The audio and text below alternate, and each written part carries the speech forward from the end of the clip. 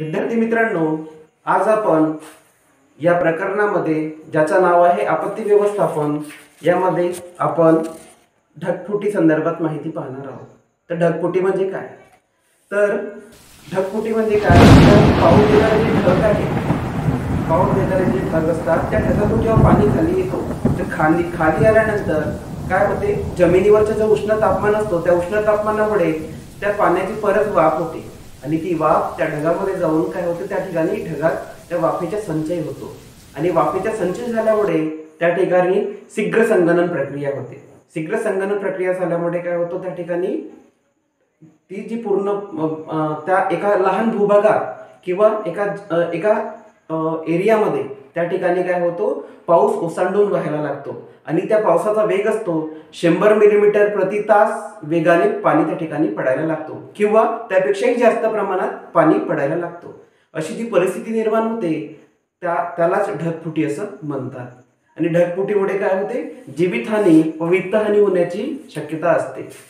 अशा प्रकारची ढगफुटी कुठे झाली होती? तर ल लद्दाख लेहमध्ये या ठिकाणी या ठिकाणी दोन हजार दहामध्ये म्हणजे सहा ऑगस्ट दोन हजार दहामध्ये त्या ठिकाणी काय झाली होती? ढगफुटी झाली होती. तसंच मुंबईमध्ये सुद्धा सव्वीस जुलै दोन हजार पाचमध्ये काय झाली होती? ढगफुटी झाली होती. ज्यामुळे काय झालं होतं? पूर्ण मुंबई ही जलमय झाली होती.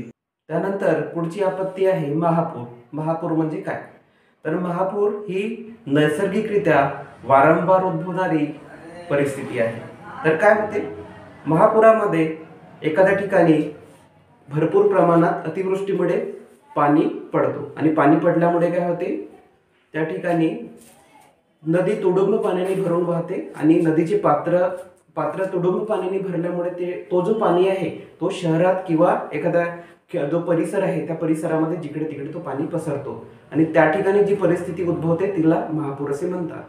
महापुरामुळे काय होते? त्या ठिकाणी जीवित व वित्तहानी होणं होण्याची शक्यता असते.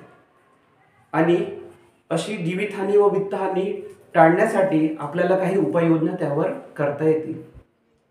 तर उपाययोजना कशी करता येईल? तर सर्वात आधी आपल्याला पाझर तलावांची निर्मिती करता येईल. त्यानंतर वृक्षतोड थांबवावी लागेल.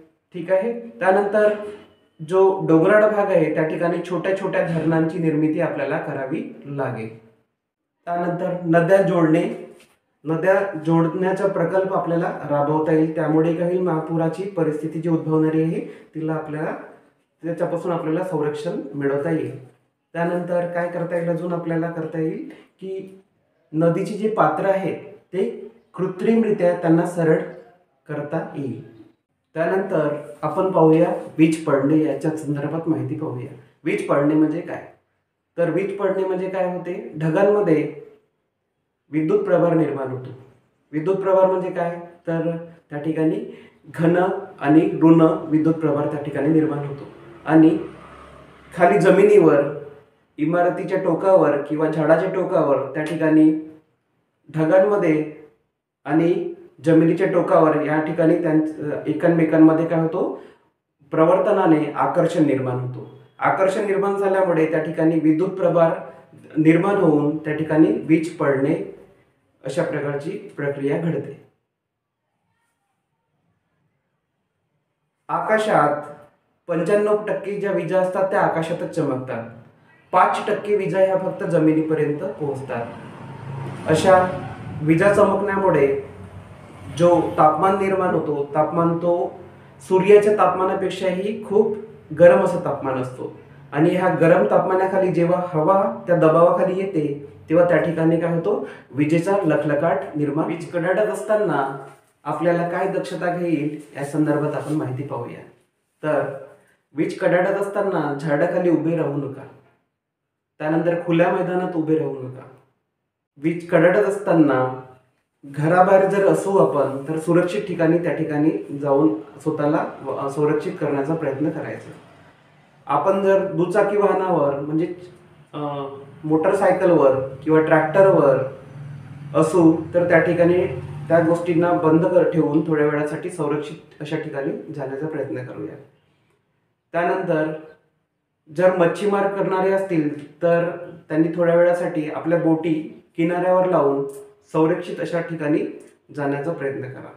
आणि एकाच ठिकाणी एक किंवा दोन व्यक्तींनी एकत्र गर्दी करू नये. आणि जर एका ठिकाणी जर असतील तर त्या ठिकाणी दोघां व्यक्तींमध्ये पंधरा फूट तरी अंतर असलं पाहिजे. गाव शेत किंवा खुल्या जागेत किंवा कंपाऊंड टेकून उभे राहू नये. त्यानंतर टेलिफोनचा काम विद्युत इलेक्ट्रिसिटीचा खांब या खांबांना या खांबाखाली किंवा या खांबाला चिपकून उभे राहू नये. त्यानंतर मोबाईल थोड्या वेळासाठी बंद करून ठेवावा.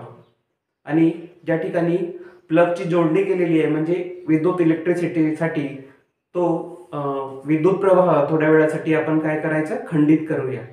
त्यामुळे काय होईल? आपल्याला वीज पडण्यापासून आपल्याला संरक्षित ठेवता येईल.